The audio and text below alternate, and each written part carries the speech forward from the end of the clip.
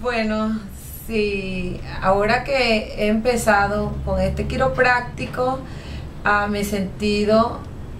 mejor, todavía no hay que decir bien, mejor, eh, pues sufría bastante estreñimiento y ahora voy al baño, eh, me relajo, o sea, duermo mejor, eh, pues me ha servido el quiropráctico, ya.